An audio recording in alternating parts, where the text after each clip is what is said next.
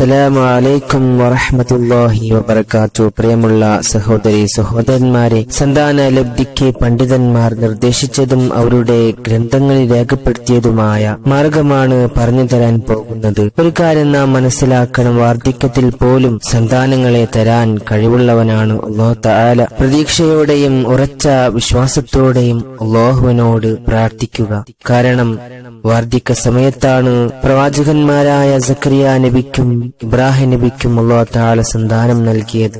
അവരൊക്കെ നമ്മുടെ പ്രതീക്ഷയാണ്. അവർക്ക് അള്ളാഹു നൽകിയെങ്കിൽ നമുക്കും അള്ളാഹു താല തരും എന്ന ഉറച്ച ഈമാനോടുകൂടെ അള്ളാഹുനോട് ദുആ ചെയ്യുക. സന്താന ലബ്ധിക്ക് പണ്ഡിതന്മാർ പറഞ്ഞ ഒരു മാർഗം പറയാം.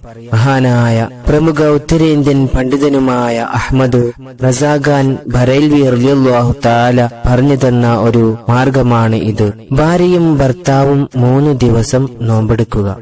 ഭാര്യയും ഭർത്താവും മൂന്ന് ദിവസം നോമ്പെടുക്കുക. നോമ്പുകാരനായിരിക്കെ ഭർത്താവ് വിശുദ്ധ ഖുർആാനിലെ എഴുപത്തിമൂന്നാം അധ്യായം സൂറത്തുൽ മുസമ്മിൽ പതിനൊന്ന് തവണ വീതം ശുദ്ധമായ തേനിൽ മന്ത്രിക്കുക. മൂന്ന് ദിവസം നോമ്പെടുക്കണം ഭാര്യയും ഭർത്താവ് നോമ്പെടുക്കണം.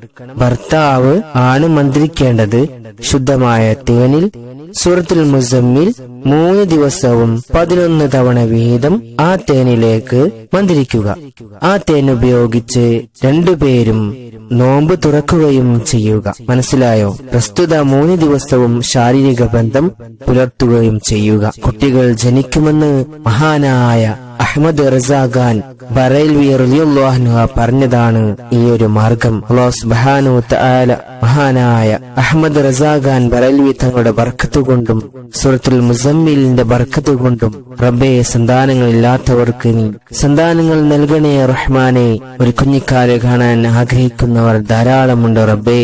അവർക്കെല്ലാം സ്വാലിഹായ സന്താനങ്ങളെ നീ പ്രദാനം ചെയ്യണം റഹ്മാനെ. പരിശുദ്ധ ഖുർആന്റെ ചികിത്സയാണ് ഇതൊക്കെ ഉറച്ച ഈമാനോടുകൂടി പോസിറ്റീവ് മൈൻഡോടെ ചെയ്താൽ എന്തായാലും ഫലം കിട്ടും. അല്ലാഹു തആല ഉദ്ദേശിച്ചതൊക്കെ നൽകട്ടെ. ആമീൻ. അസ്സലാമു അലൈക്കും വറഹ്മത്തുള്ളാഹി